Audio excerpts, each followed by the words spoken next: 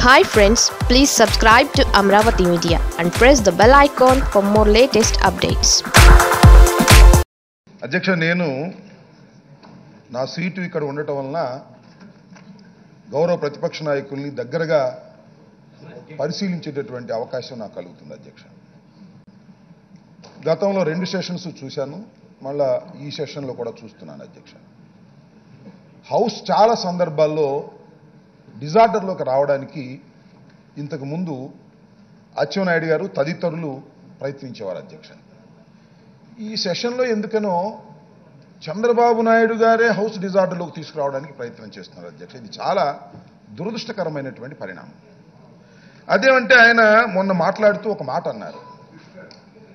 నన్ను ఏదో డెబ్బై సంవత్సరాల వయసు అంటారా? నేను ముప్పై సంవత్సరాల వయసులాగానే పాతిక సంవత్సరాల వయసులాగానే నేను ప్రవర్తిస్తాను అని. నాకు అర్థమవుతుంది ఏంటంటే వారు పాతిక సంవత్సరాలు కాదు. పది పదిహేను సంవత్సరాల వయసులో ఉన్న వ్యక్తుల్లాగా ప్రవర్తించేటటువంటి ధోరణిలో అనకూడని పదాలు. ఒక విధంగా చెప్పాలంటే అవి ఉచ్చరించడం సమంజసం కాదు. వారు ఉచ్చరించారు కానీ ఈ నిండు సభలో ఉచ్చరించడం సమంజసం కాదు.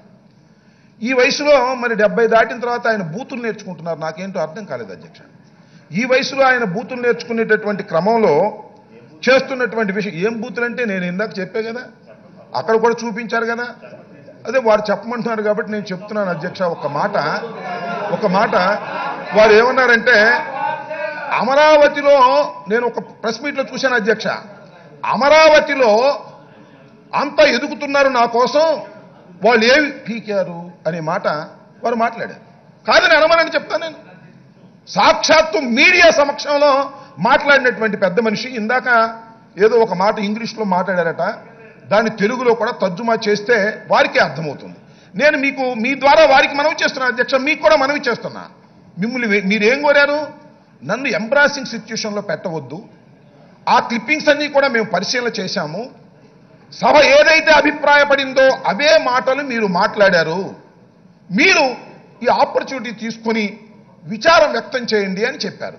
అధ్యక్ష మొన్న గౌరవ సభ్యులు రామనారాయణ రెడ్డి గారు అన్నట్టుగా విచారం వ్యక్తం చేయడం తప్పేం కాదు అధ్యక్ష. ఒకనొక సందర్భంలో పుచ్చలపల్లి స్వర్గీయ పుచ్చలపల్లి సుందరయ్య గారు సీట్ ఎక్కి ఏదో మాట్లాడితే తర్వాత ఆయన రిపెంట్ అయి నేను పొరపాటు చేశాను అని సభలో చెప్పారు. తప్పేం కాదు. ఇప్పుడు నలభై సంవత్సరాల అనుభవం కలిగినటువంటి వ్యక్తి మూడు సార్లు ముఖ్యమంత్రిగా చేసినటువంటి వ్యక్తి నలభై సంవత్సరాలు ఇండస్ట్రీ ఉన్నటువంటి వ్యక్తి ఆయన విచారం వ్యక్తం చేస్తే అందరూ సంతోషపడతారు. మీరు ఇచ్చిన ఆపర్చునిటీని కూడా ఆయన ఉపయోగించుకోకుండా నాకు ముందు విచారణ వ్యక్తం చేస్తే ఎవరు విచారణ వ్యక్తం చేస్తారు అధ్యక్ష? ఇవాళ నేను అడుగుతా ఉన్నా మార్షల్స్ ఎవరు అధ్యక్ష? మీరు అపాయింట్ చేస్తే వచ్చిన వారు మీ ఆదేశాల ప్రకారం నడుచుకుంటున్నటువంటి వారు ఈ భద్రతను కాపాడవలసినటువంటి వారు వారు భద్రతను కాపాడే క్రమంలో ఒకరినొకరిని పంపించడానికి ప్రయత్నం చేస్తే తండ్రి కొడుకులు ఇద్దరు కుస్తీ పడతారంటే అధ్యక్ష నాకు అర్థం కాలేదు. అక్కడ కుస్తీ పడతారా? కుస్తీ పట్టి బూతులు మాట్లాడే పరిస్థితికి దిగజారిపోయినప్పుడు ఏం చెప్పాలి నీకు? నాకు అర్థం కాలేదు. అదేమంటే వారు ఏమంటారంటే నేను భయపడను. నూట యాభై మంది వచ్చినా కూడా భయపడను. నేను ధైర్యశాలిని. అని ఆయన ఆయన చెప్పుకోండి పాపం అచ్చినాయుడు గారు చెప్పిన సంతోషిద్దాం. మరి అంత భయపడే భయపడని వాడు అంత ధైర్యవంతులు అయినటువంటి వారు అధ్యక్ష మొన్న ఇప్పుడు మీరు వచ్చి ఇటు చూస్తే పాపం అక్కడ వంశీ కనపడితే వంశీ మాట్లాడనగానే అంత ధైర్యశాలలు ఎందుకు అధ్యక్ష తోక ముడిచి ఇలా పారిపోయారు? ఆ ఒక్కరిని ఎదుర్కోలేక నేను అడుగుతా ఉన్నా. ఆ రోజున మాత్రం మీకు ధైర్య సాహసాలు రావా? ఇవాళ నూట యాభై మందిని ఎదుర్కొంటారా? ఏంటి ఎదుర్కొనేది? మీరని అడుగుతా ఉన్నా. నేను మనవి చేసేది ఒక్కటే అధ్యక్ష మీరు ఒక మంచి ఆపర్చునిటీ ఇచ్చారు.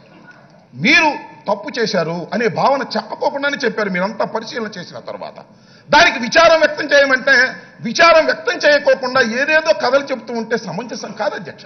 నేను మనవి చేస్తున్నా ఇప్పటికైనా గౌరవ ప్రధాన ప్రతిపక్ష నాయకులు శ్రీ శ్రీ శ్రీ నారా చంద్రబాబు నాయుడు గారు జరిగిన దానికి విచారం వ్యక్తం చేసేటటువంటి పరిస్థితుల్లో లేరు కాబట్టి ఇందాక లెజిస్లేటివ్ అఫైర్స్ మినిస్టర్ గారు మీకు అధికారాన్ని ఇస్తూ కూడా తీర్మానం చేశారు. దాని మీద మీరు యాక్షన్ తీసుకోవాల్సినటువంటి అవసరం ఉన్నది.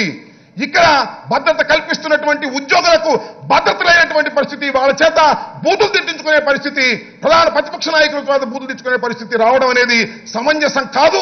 ఇది ఈ హౌస్ కూడా చాలా బాధాకరమైనటువంటి అంశం అధ్యక్ష. ఇవాళ వారి మీద యాక్షన్ తీసుకోవడం మాకేం సంతోషం కాదు. ఈ విధంగా మాట్లాడుతున్నటువంటి వ్యక్తుల మీద బూతులు మాట్లాడుతున్నటువంటి వ్యక్తుల మీద క్రమశిక్షణ రాహిత్యంగా మాట్లాడుతున్నటువంటి వారి మీద సభా మర్యాద గౌరవం లేని వారి మీద యాక్షన్ తీసుకోకపోయినట్లయితే అందరూ హౌసింగ్ డిజార్డర్ చేసేటువంటి పరిస్థితికి వస్తారు కాబట్టి మీరు తక్షణమే వారి మీద యాక్షన్ తీసుకోవాల్సిందిగా మిమ్మల్ని వినయపూర్వకంగా కోరుతున్నాను అధ్యక్ష.